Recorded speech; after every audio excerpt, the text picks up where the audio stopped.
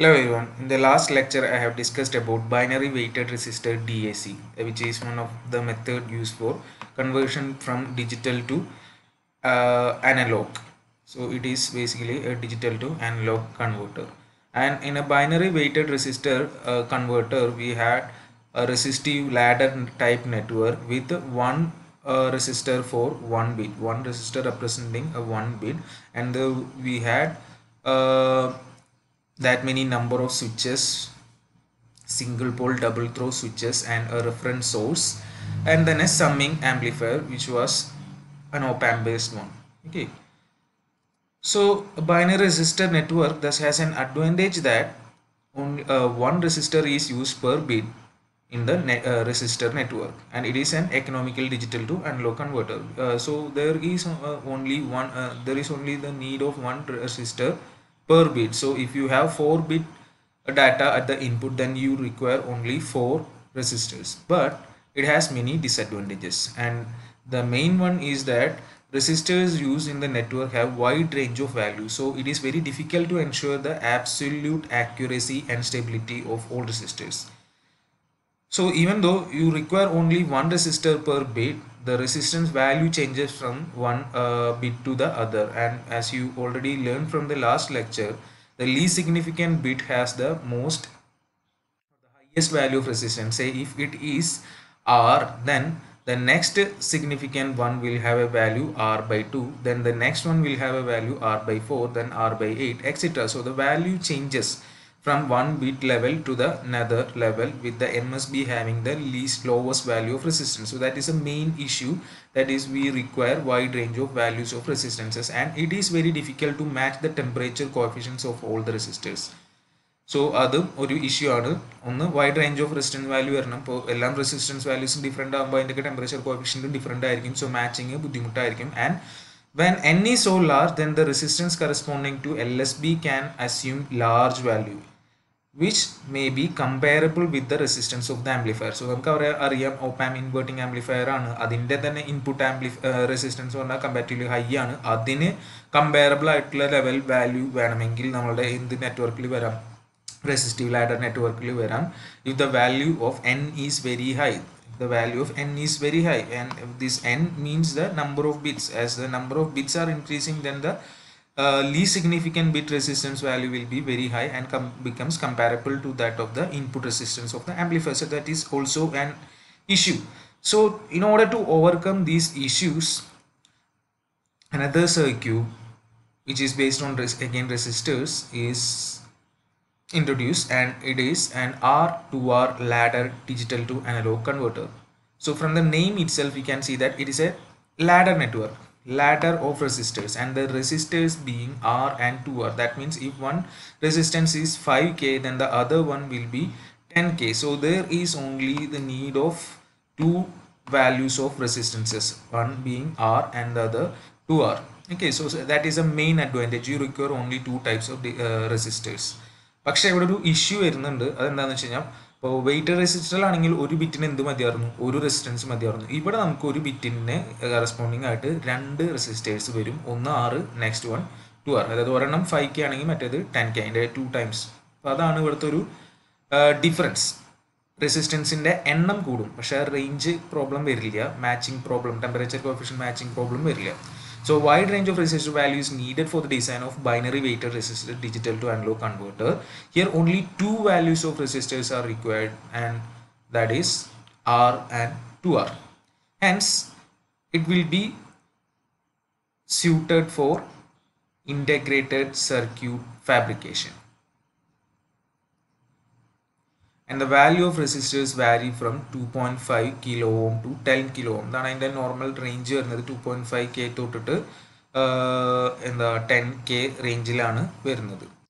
Example of four bit digital to analog conversion is given with four bit binary input B one B two B three B four so here the input being B one B two B three B four അതായത് B one B two B three B four എന്നുള്ള ഒരു input four ബിറ്റിന്റെ കേസാണ് നമ്മൾ example പറയുന്നത്. അവിടെ ഒരു terminal resistance ആറിന് പകരം ഇവിടെ ടു ആർ ആണ് ഉപയോഗിച്ചിട്ടുണ്ടാവുക. അതാണ് അതിൽ നോട്ട് ചെയ്യേണ്ട ഒരു കാര്യം.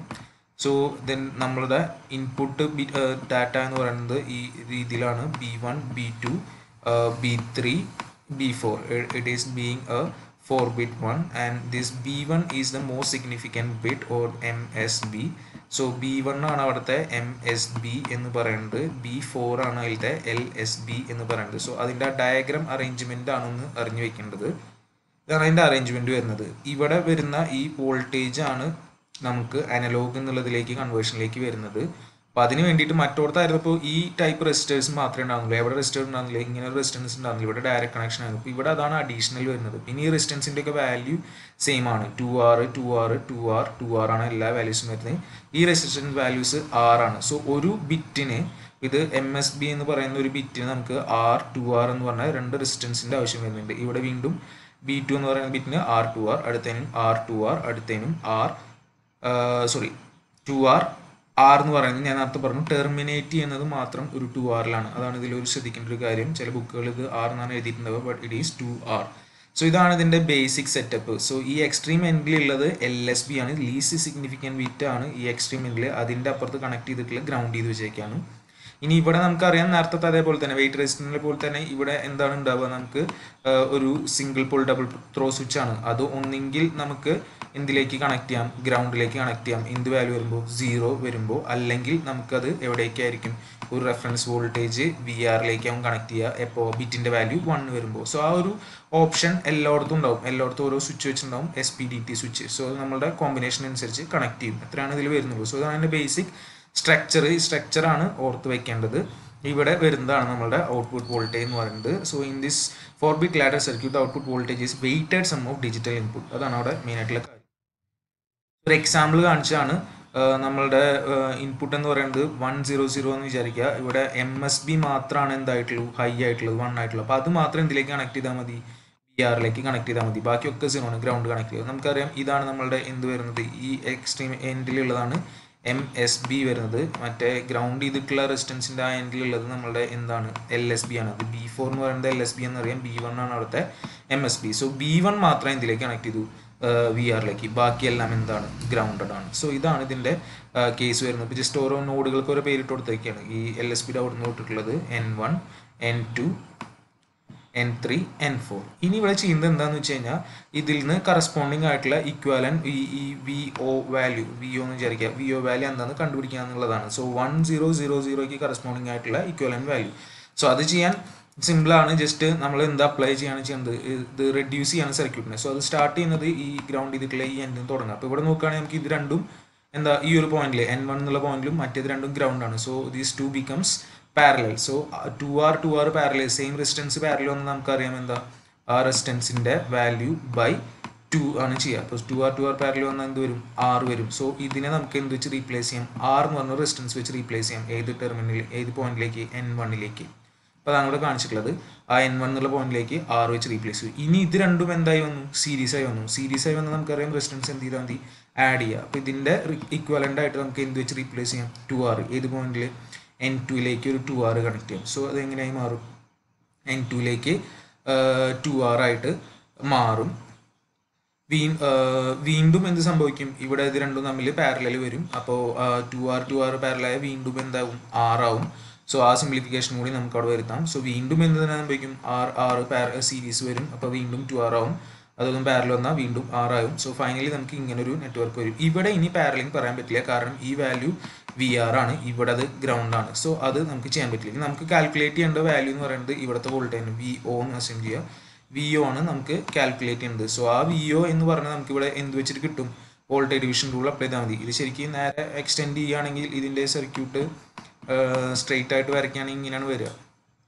ഫൈനൽ സർക്യൂട്ട് ജസ്റ്റ് നിൽക്കുന്നത് ഇങ്ങനെയാണ്. ഇത് വാല്യൂ ടു ആറ് ഇതിന്റെ വാല്യൂ ടു ആറ് ഈ പോയിന്റ് എന്ന് പറയുന്നത് നമ്മുടെ ഈ നോഡാണ് അപ്പോൾ ഇതിനെ ക്രോസ് ആണ്. ഇവിടെയുള്ള വോൾട്ടേജ് ആണ് നമ്മൾ എന്തായിട്ട് പറയുന്നത്?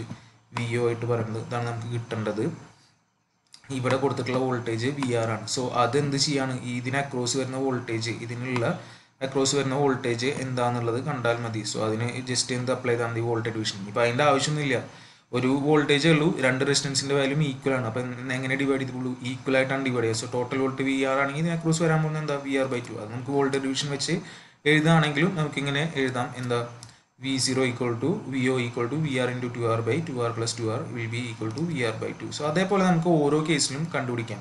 വൺ സീറോ സീറോയ്ക്ക് കണ്ടുപിടിച്ച പോലെ സീറോ വൺ സീറോ സീറോയ്ക്ക് കാണാം. സീറോ സീറോ വൺ സീറോയ്ക്ക് കാണാം സീറോ സീറോ വണ്ണിന് കാണാം. അപ്പോൾ ഓരോ ജനറൽ കേസിന്റെയും ഔട്ട്പുട്ട് വോൾട്ടേജുകളാണ് കണ്ടുപിടിച്ച് വെച്ചിരിക്കേണ്ടത് വൺ സീറോ സീറോയ്ക്ക് നമുക്ക് കിട്ടിയ വി ആർ ബൈ ടു അടുത്ത് വരുമ്പോൾ വി ആർ ബൈ ഫോർ വരും. പിന്നെ V R by eight V R by sixteen so ഇത് വെച്ചിട്ട് നമ്മൾ ഇനി ഇവിടെ സൂപ്പർ പൊസിഷൻ തിയറും അപ്ലൈ ചെയ്ത് കഴിഞ്ഞാൽ നമുക്ക് എല്ലാം ചെയ്യാമെന്നാണ് പറയുന്നത് so principle of superposition theorem can be applied so അത് വെച്ചിട്ട് നമുക്ക് ടോട്ടൽ വോൾട്ടേജ് എന്ന് പറഞ്ഞു കഴിഞ്ഞാൽ സം ഓഫ് ഇൻഡിവിജ്വൽ ഇത് വെച്ചിട്ടുള്ള വോൾട്ടേജ് എന്ന് എഴുതാം. അപ്പോൾ അതായത് ഇപ്പോൾ നമുക്ക് ഒരെണ്ണത്തിന്റെ ഒരു ജനറൽ ഇൻപുട്ടിൽ വന്നിട്ടുള്ള സിഗ്നൽ ഇങ്ങനെയാണെന്ന് വിചാരിക്കുക. വൺ സീറോ വൺ വൺ അപ്പോൾ ഇതിനെ വേണമെങ്കിൽ എനിക്ക് സ്പ്ലിറ്റ് ആക്കിയിട്ട് എങ്ങനെ എഴുതാം? വൺ സീറോ സീറോ നമുക്ക് അറിയുന്നത് ഈ നാലിനാണല്ലോ. അപ്പോൾ അതിലേക്ക് സ്പ്ലിറ്റ് ആക്കുക. അടുത്ത് സീറോ എന്നുള്ളതിന് വേണമെങ്കിൽ സീറോ സീറോ സീറോ എന്ന് എഴുതാം. അത് എഴുതണം എന്നൊന്നുമില്ല. പിന്നെ അടുത്തത് വൺ ഈ വണ്ണിന് കറസ്പോണ്ടിങ് ആയിട്ട് എന്ത് എഴുതാം? സീറോ സീറോ വൺ സീറോ എന്ന് എഴുതാം. ലാസ്റ്റത്തേന് കറസ്പോണ്ടിങ് ആയിട്ട് എഴുതുന്നത് സീറോ സീറോ സീറോ വൺ ഇതിന്റെ ഒക്കെ വോൾട്ടേജുകൾ നമുക്കറിയാം. ഇതാണ് നമ്മൾ കണ്ടുപിടിക്കേണ്ടിണ്ടായിരുന്നത് ഇതിന്റെ വോൾട്ടേജ് അറിയാം. എനിക്കറിയാം എന്താ? വി ആർ ബൈ ടു ഇതെന്ന് പറഞ്ഞാൽ സീറോ ആണെന്ന് അറിയാം. ഇനി സീറോ സീറോ വൺ സീറോന്റെ അറിയാം. വി ആർ ബൈ എയ്റ്റി അതുപോലെ സീറോ സീറോ കൊണ്ട് അറിയാം. V R by eighteen sixteen ഇതൊക്കെ കൂടെ ആഡ് ചെയ്താൽ നമുക്ക് റിസൾട്ടൻ വോൾട്ടേജ് കിട്ടും. സോ ഇത്രയാണ് ഇതിൽ വരുന്നുള്ളൂ സിമ്പിൾ ആയിട്ടുള്ള കാര്യമാണ് സോ അതാണ് ഇതിന്റെ ഫൈനൽ സർക്യൂട്ട് വരുന്നത്. നേരത്തെ പറഞ്ഞ കാര്യങ്ങളും കൂടി ഇൻകോർപ്പറേറ്റ് ചെയ്തിട്ട് സ്വിച്ച് ആണ്. സ്വിച്ച് ഒന്നെങ്കിൽ നമ്മളുടെ റെഫറൻസിലേക്ക് കണക്ട് ചെയ്യാം. അല്ലെങ്കിൽ നമുക്ക് ഗ്രൗണ്ടിലേക്ക് കണക്ട് ചെയ്യാം. അത് സ്വിച്ച് എല്ലായിടത്തും കണക്ട് ചെയ്തിട്ടുണ്ടാവും. ഫൈനലി ഇതൊരു ആംപ്ലിഫയറിലേക്ക് കണക്ട് ചെയ്തിരിക്കുകയാണ്. ഇൻവേർട്ടിംഗ് ആംപ്ലിഫയറിലേക്ക് സോ ഇതിന്റെ ഔട്ട്പുട്ടിന്റെ ഇക്വേഷൻ ഇങ്ങനെയാണ് വരിക. ചെയ്ത് എഴുതിയെന്ന് മാത്രം. സോ ഇത്രയാണ് ആർ ടു ആർ ലാഡർ എന്ന് പറഞ്ഞു കഴിഞ്ഞാൽ വരുന്നത്.